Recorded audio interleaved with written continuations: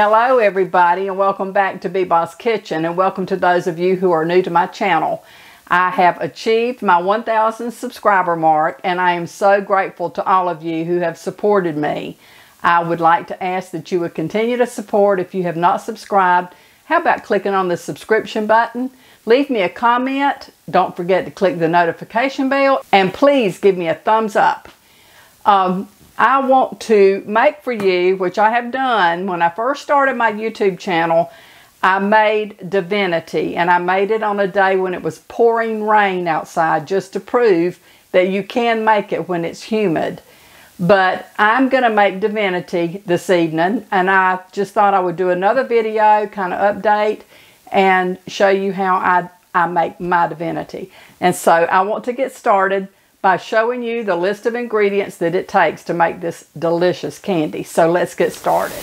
You will need granulated sugar, white corn syrup, egg whites, pecans, water, vanilla extract, salt, cold water for testing, a saucepan, candy thermometer, and wax paper. Okay, I'm going to double the recipe that I'll be posting. So I will start with my egg whites. I'm going to separate them. I've already I've separated one, but I thought I might better show how I separate my egg whites. I'm sure you know how to do this, but I'm going to separate my egg whites from the yolk, but I will be using four egg whites.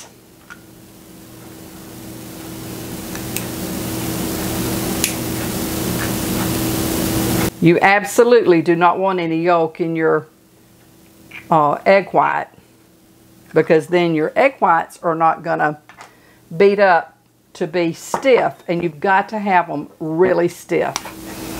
Okay, like I said, I'm doubling the recipe so I will put my sugar in and I will add my Karo syrup. And like I have told you all before, I usually will put my water in this so that I can get all the Karo syrup out. So I'm going to add my water to this cup and just kind of swish around, make sure you get all the Karo.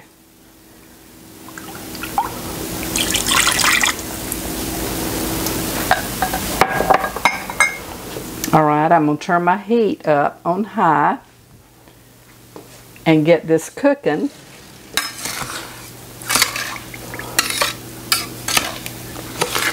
Normally, when I'm doing Divinity, I hardly ever use a candy thermometer. I do the cold water test, and I will show you tonight how I do that. But I do have the candy thermometer also.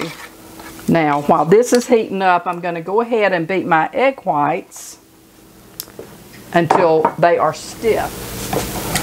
I will use my whisk beater.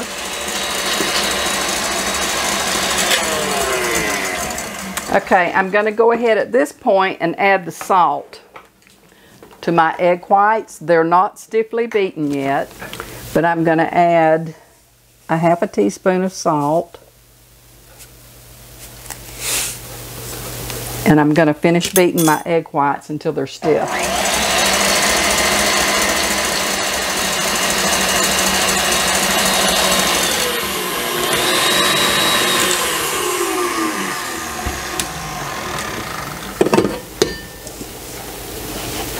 Okay, they are stiffly beaten. You can see they simply They don't move. So you got to make sure your egg whites are stiff like this. Do you see the sugar crystals? There are sugar crystals on the side of this pot. And so what I'm going to do is to put a lid, when this starts to boil, I'll put a lid on it for one minute to wash down those sugar crystals. My egg whites are at room temperature. Uh, I had a YouTuber asking me the other day, she had watched my other video and she said that hers had looked like condensed milk. I don't know what she did wrong. I almost think she didn't cook her syrup long enough. But she asked me if the egg whites should be room temperature. Uh, the recipe that I have is a very old recipe that was in a cookbook that belonged to my mother when she bought um, her Sunbeam mixer when I was just a little girl. And it didn't say anything about the egg whites being at room temperature, but I always, anytime I'm baking or doing any type of desserts or candies and I'm using egg whites, I always have my eggs at room temperature unless it specifies that they should be cold. But anyway, I hope that this video will be more helpful. So as soon as this comes to a boil, I'll put a lid on it and we'll wash down the crystals and get our syrup cooked and get this candy made. I'll go ahead and take my whisk beater off and put my paddle on, paddle beater, because you're gonna, it's gonna get really stiff. You're gonna need a strong beater. So I'll go ahead and have this ready so that when my syrup gets ready and it's starting to come to a boil, I have it on high heat. I think I told you that already uh, it doesn't matter. You want it on high because you want to get this syrup cooked to the temperature that you're wanting it to be. Okay, I'm going to put a lid on this. And the steam will wash down the sides. I'm going to time it for one minute. Okay, that's been one minute. You can see now how it has washed down. Well, it's fogging up my camera, but it's washed down the sugar crystals. So now this is going to cook until it gets to 260 to 265 degrees. But I will do a water test. I take a cup of cold water. Um, it doesn't have to be ice cold, but just cold water. And when this gets ready, I will test it by dropping my syrup into this water. And it, when it forms a brittle thread, it's ready to pour over my egg whites. So I will get myself a spoon and I will test it when it's time.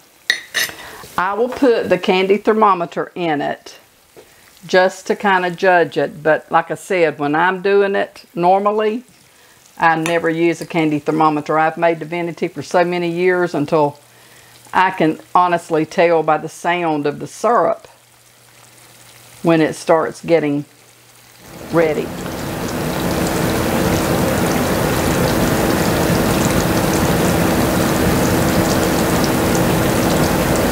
You can see it's getting ready to start trying to spin a thread, but it's not enough it hasn't cooked enough. It'll have to cook to about 265 degrees.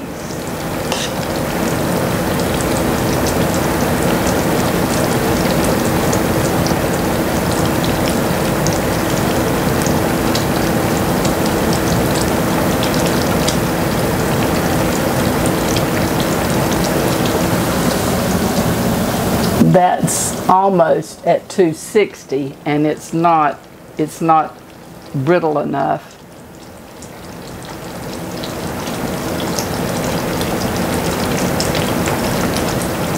I can tell by my syrup the sound of it and the looks of it. It's real, real bubbly.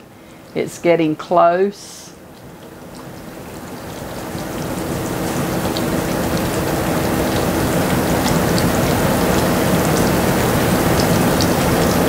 it's starting to create the little thread spinning off from it. See that?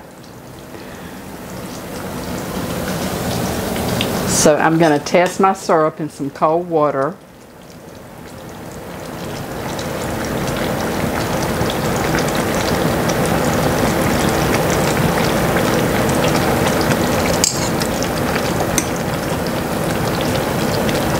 it's not ready. It's soft. And you want it to be brittle.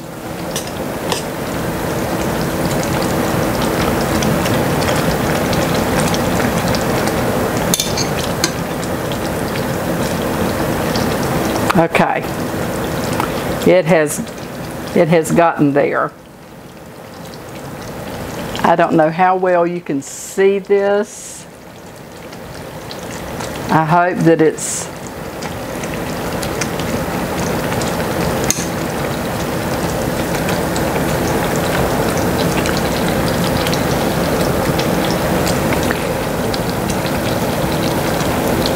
can see it's it's brittle and that's the way you want your syrup to be. So now I'm going to take it off the heat and start pouring it over my egg whites. Very slowly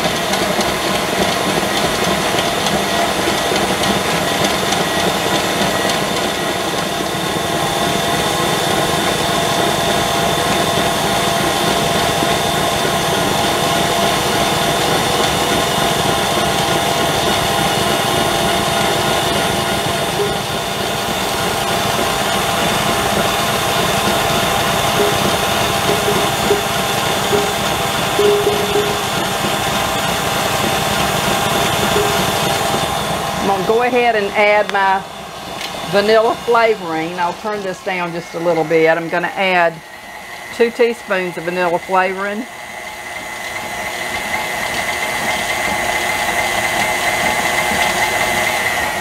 And you want to beat this until it's not so glossy. But you have to be kind of careful with it because it'll set up really quick. I'm going to go ahead and spread out my wax paper. This is very, very hot. Sometimes when it doesn't want to set up, you can let it rest and then beat again and it'll start setting up. But I'm going to go ahead and start adding my nuts to this. I didn't chop my nuts because I wanted to add it and it'll kind of beat it. Um, it'll chop them up as it beats into the candy. I like a lot of nuts in my divinity.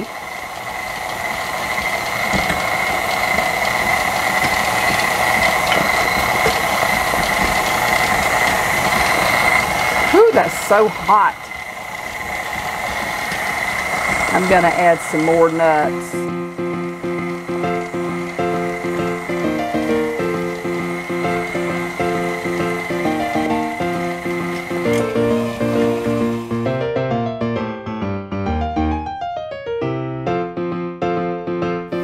To let it cool down just a little bit.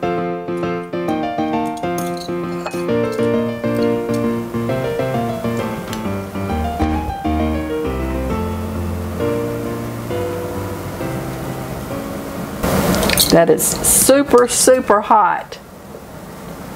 Okay, it's starting to set up. So I'm going to beat it once again.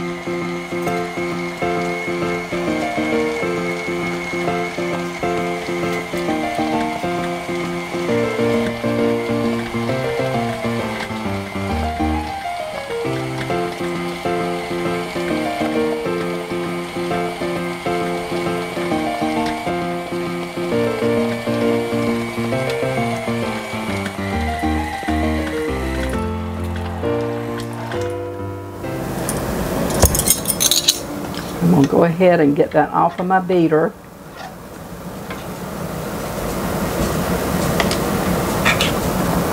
Okay. It is ready to spoon up. Okay. Ooh, that is some kind of hot.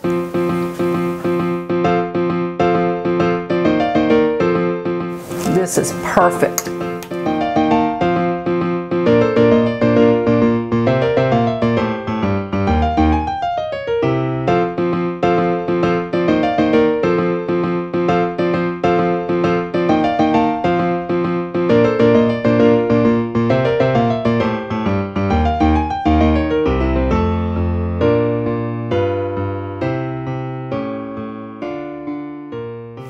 See how it looks inside the bowl.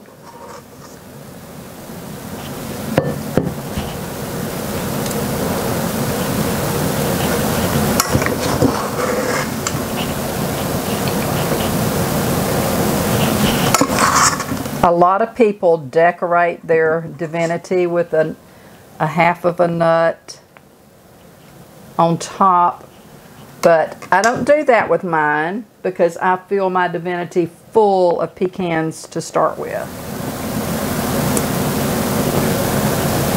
I'll eat that piece. Mmm, good.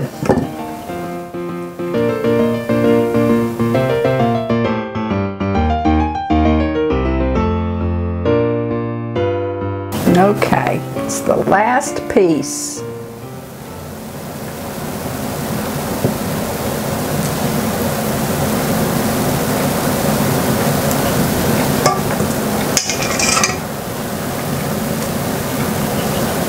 That is excellent. It turned out perfect.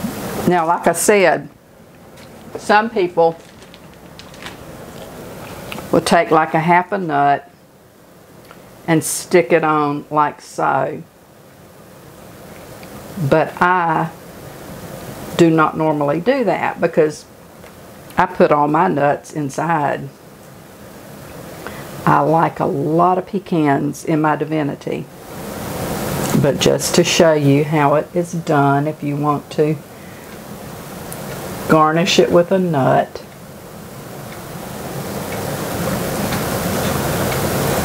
That's the way it's done. Not that that's a big deal. Anybody can figure out how to stick a pecan on a piece of divinity, but not everybody can make divinity. And it's such a simple, simple thing. The secret is getting your syrup cooked to the right temperature. And it can vary, I guess, depending on the where you're located. I don't know. But it went to about 270 degrees.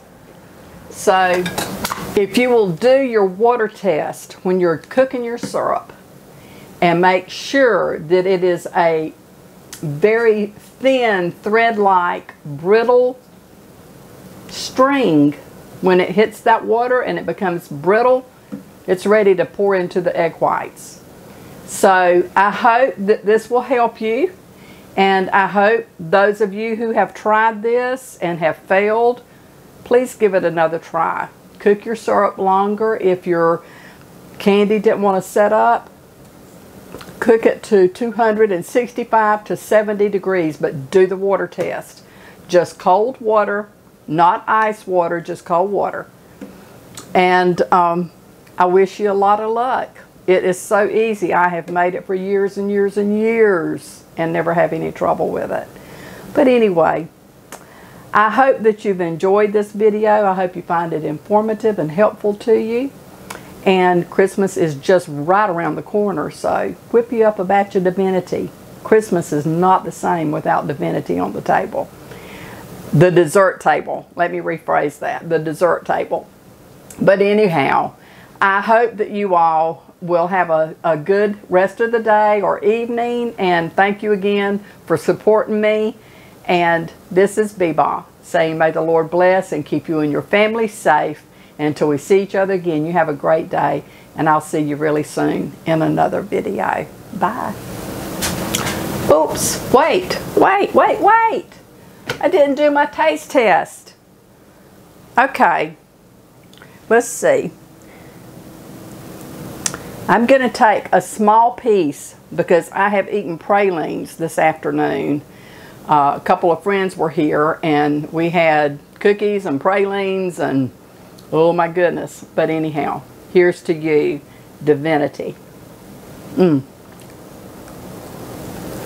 Oh, that's so good. My goodness. I cannot imagine anybody that does not love divinity. Mmm. And with it being so full of nuts, man, that is so good to me. My oldest sister that I lost um, a couple of years back, bless her heart, she loved divinity. I would always have to make her divinity. But anyway, I'm going to sign off now. I hope you've enjoyed watching my video. And like I said, you take care and I'll see you soon in another video. Bye.